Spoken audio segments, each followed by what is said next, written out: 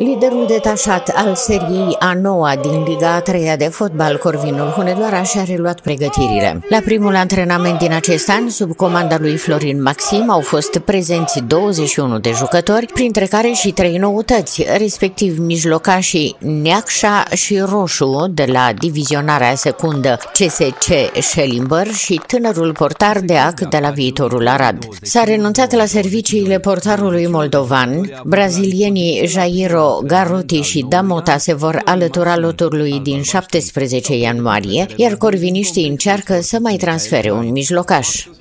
Ne-am dorit un mijlocaș central la închidere, uh, defensiv, pur defensiv. Uh, am purtat ceva discuții cu doi jucători.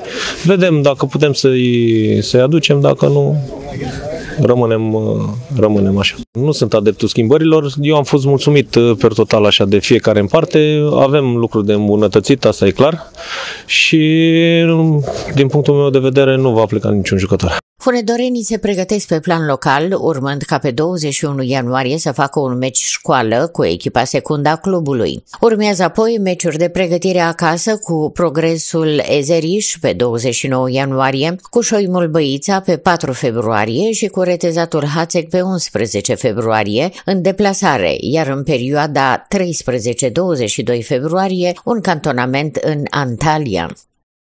Am ținut să facem antrenamentul pe terenul 2, să nu stricăm uh, terenul 1. Uh, terenul 1 va intra în uh, reconstrucție a suprafeței de joc, uh, prima parte.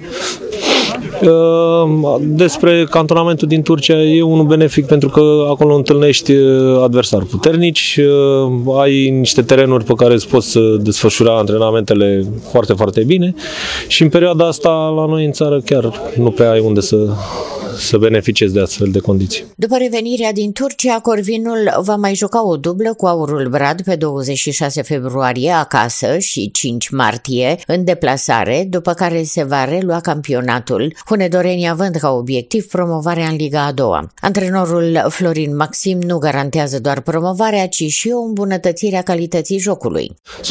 100% și nu că am promis, dar sunt sigur că îi vedeam de, de la antrenament de la antrenament pe jucători, că răspund răspund mai bine, înțelegeau principiile mele de joc, ei erau conștienți, eu am fost conștient că am format o echipă din mers și era normal să nu poată funcționa exact cum ne dorim, dar uh, lucrurile vor, exact cum am, cum am zis, că vom fi de la meci la meci și de la săptămână la săptămână mai bine, așa vom arăta cu, cu siguranță. În primul meci oficial al acestui an, în etapa a 16-a, antepenultima sezonului regular, Corvinul va juca în deplasare pe 12 martie cu avântul Reghin.